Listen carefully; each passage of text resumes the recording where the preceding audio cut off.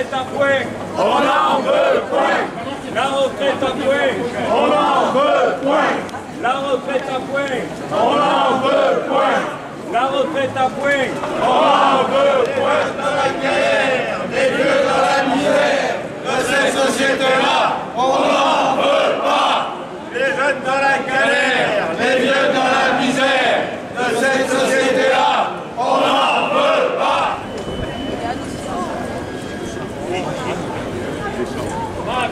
Jeunes de la galère.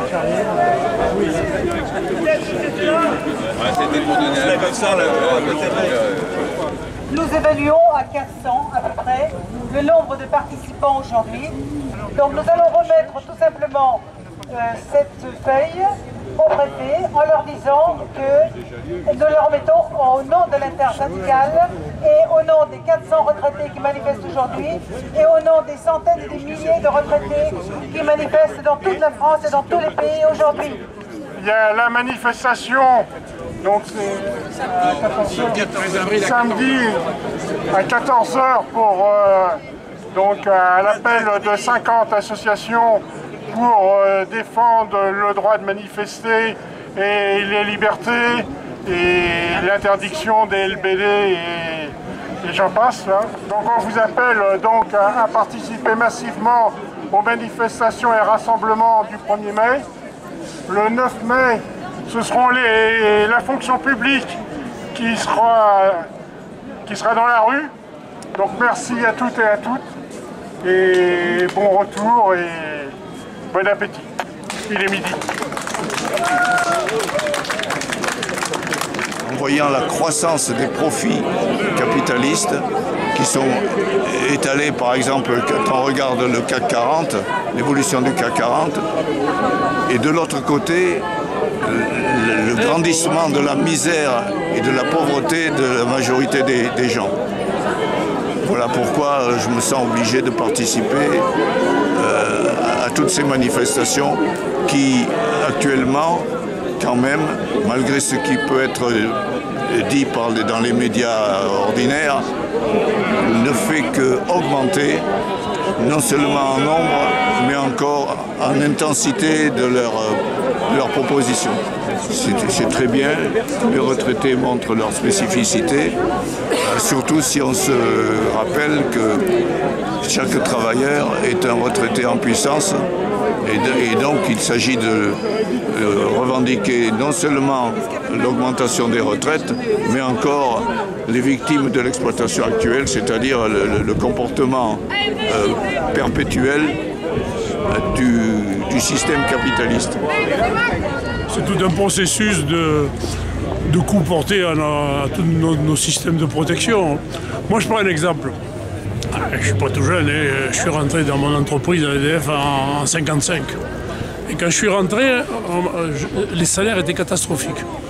À l'époque, il n'y avait pas le problème du chômage, donc les salaires.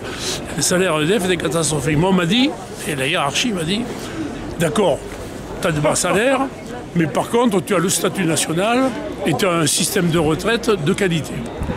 Donc je considérais que c'était quelque chose qui était acquis, qui m'était dû. Je me rends compte qu'au fur et à mesure et au fil des ans, de plus en plus, on a remis en cause cet engagement. Je, considère que c'est grave, quoi. C'est-à-dire, on m'a- trompé. Ils, en sont à un moment donné même à dire, les retraités, euh, ils ont pu, grâce à certaines conditions, euh, se doter d'un patrimoine. Eh bien, ce patrimoine, on va l'imposer.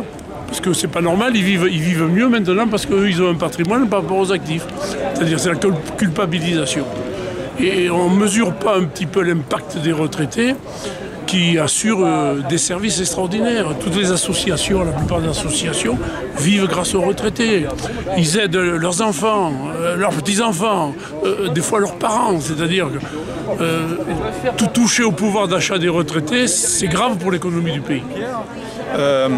Moi, je m'arrête un petit peu sur les campagnes de communication du gouvernement qui tentent à opposer les actifs euh, euh, contre les retraités, les jeunes contre les vieux, les chômeurs euh, avec ceux qui ont un emploi, etc., etc. On voit une stratégie montée de toutes pièces de la part du gouvernement pour chercher à opposer les catégories entre elles et en essayant de camoufler la véritable politique libérale qui est en train d'être mise en place.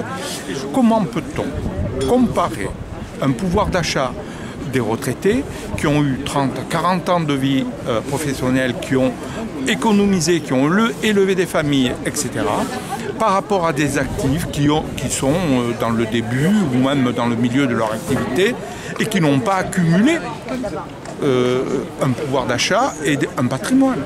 Donc on ne peut pas comparer les choses. Ça, c'est la volonté d'opposer les, les catégories entre elles pour dire, vous voyez, on, stigmatise les retraités parce qu'ils ont un pouvoir d'achat, euh, supérieur aux actifs en tout cas, et, on, considérait par conséquent qu'il faudrait absolument euh, compenser, équilibrer ces pouvoirs d'achat entre les actifs et les retraités. Mmh. C'est impensable.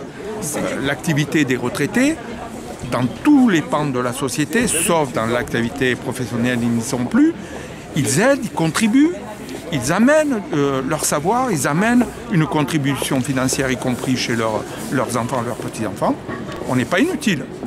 Donc, ils devraient tenir compte de ce qu'on dit. Sinon, ça va barder.